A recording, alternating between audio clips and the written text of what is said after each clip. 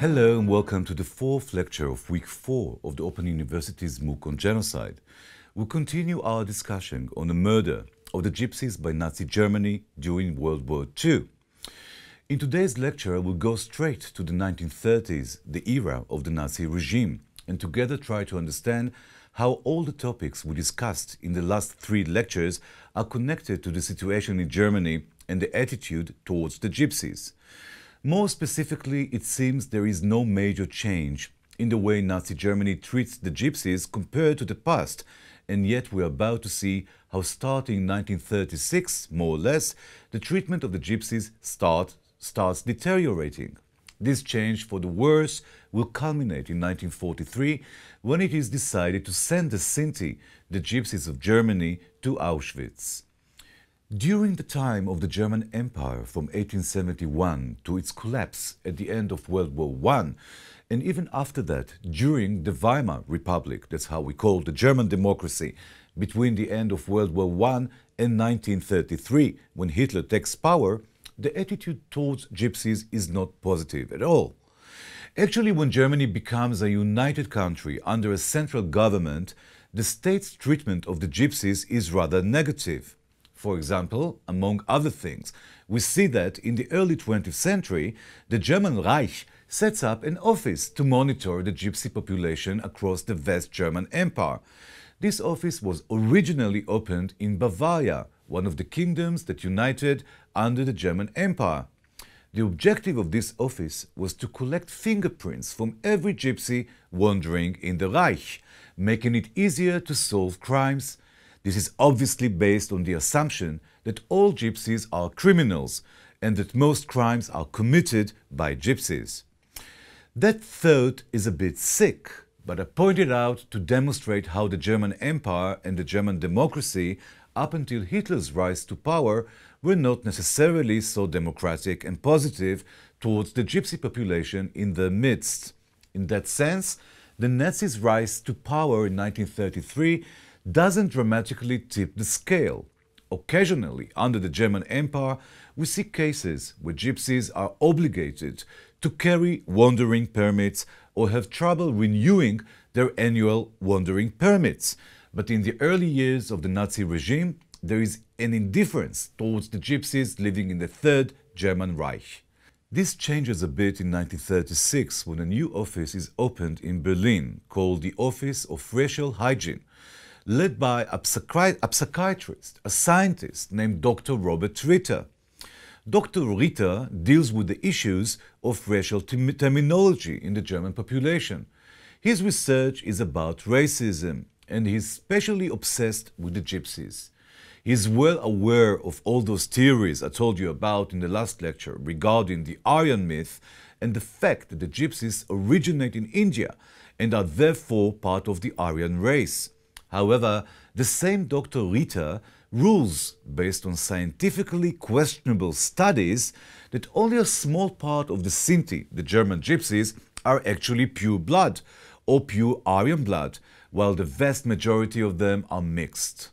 Now, I'm not sure if you realize the gravity and importance attributed in Nazi Germany to purity of blood compared to mixed races.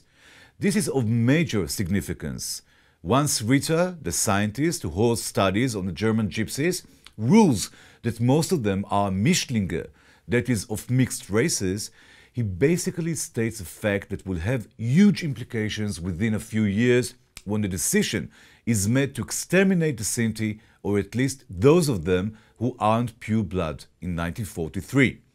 In Germany, between 1933 and 1939, before World War II breaks out, the Nazis are obsessed with perfecting German society and, if you will, human society in general. We won't elaborate on this issue because that takes too much time, but I would like to note the fact that genetic research in Nazi Germany was pretty advanced for its time and yet full of delusional racial theories, while any kind of racism is unacceptable in modern day science.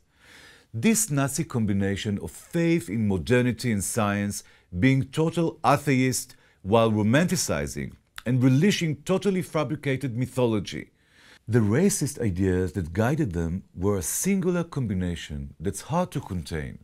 Understanding it requires quite a lot of reading. In the scientific, progressive, and modernist context, the Nazi Germany tried to lead an effort of perfecting German society in the 1930s. According to their view, to put it plainly, humanity in general and German society in particular consists of different groups of people with innate genetic qualities. While most of the population is born functional and acts in constant effort to improve society, there is a parallel group in society the Nazis call asocial groups or antisocial groups. That is, they harm society. The innate genetic defects of these groups prevent them from improving and correcting themselves. In fact, the mere existence of these groups hold the silent contributing majority back and prevents the engineers of German society, if you will, from perfecting it. These groups include the mentally ill, homosexuals, criminals and prostitutes, those who sleep and therefore the line of work they choose suggests something is genetically wrong with them, and other groups, including the gypsies eventually. I told you in one of the previous lectures this week that the pilot tried by some German states back in the 19th century to integrate the gypsies into society had failed. The German disappointment from the gypsies' reluctance to Germanize and become modern Germans while giving up their culture and traditions eventually nurtures the image of gypsies among some social planners and engineers in Nazi Germany as suffering from an innate defect a flaw preventing them from making progress towards the wonderful modern world offered by the Third Reich to its Aryan sons and daughters. This creates a conflict during the 1930s regarding the gypsy question. Some of them are pure blood Aryans. We can't just think of solutions like castration, which the Nazis liked applying to asocial groups, like the mentally retarded, the mentally ill, homosexuals, etc. This question is debated among various professionals and eventually this Dr. Ritter, the head of the Office of Racial Hygiene in Berlin, decides to castrate a few thousand German Sinti gypsies in the late 1930s, but leaves a large portion of them untouched. In 1939, World War II breaks out, as we know, and all draft eligible gypsy men in Nazi Germany, which as of 1938 includes not only Germany but also Austria, after the Anschluss, the unification Hitler forces on its neighbor, which is actually his homeland, about 40,000 German Sinti gypsies living within this Third Reich, along with other 10,000 gypsies classified as Roma, that is, nomads without German citizenship who aren't considered originally Sinti. All draft eligible men of this population are enlisted to the Wehrmacht, the German army, which indicates that in 1939 there is no intention of exterminating the Gypsies and committing genocide against them. I hope you agree with me that had there been an intention, they wouldn't even consider enlisting all the Gypsies under a general draft as if they were full German citizens of the Third Reich. This obviously would never happen with Jewish men, although occasionally a man with one Jewish grandparent would be enlisted. But there were very few of them. However, all draft eligible Sinti men are enlisted to the army as full Nazi German citizens. These gypsies serve in the Wehrmacht, the German army, for four years between 1939 and 1943. Some of them fight in the Russian front.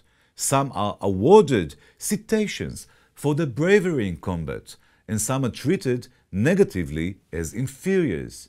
But all in all, they are part of the war effort, and their enlistment to the army strongly suggests that there is no general plan to exterminate the gypsies, no premeditation or intention, surely not officially. Nazi Germany is the country of a single ruler, the Führer, Adolf Hitler. He calls the shots.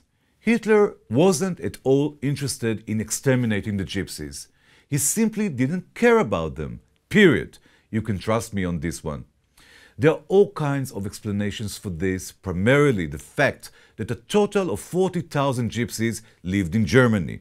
This was a small group of people who didn't really bother anyone and didn't have any wealth to steal, unlike the half a million Jews living in the Third Reich in 1939, who had a lot to steal from. That Hitler simply didn't care about the gypsies is very telling and indicates that if Hitler wasn't concerned with this, it means there was probably no organized intention or plan for genocide against the gypsies. Then why were the gypsies considered worthy of slaughter by 1943? Why was the blood fair game? Why was it the decision made in 1943 to send half of the German Sinti to Auschwitz including all the soldiers serving in the army who were released at once in 1943 and joined by the families, children, and parents they left behind at home in Germany. Why does all this happen? To find out, you'll have to wait patiently for the next and final lecture of this week. Thank you for now, and goodbye.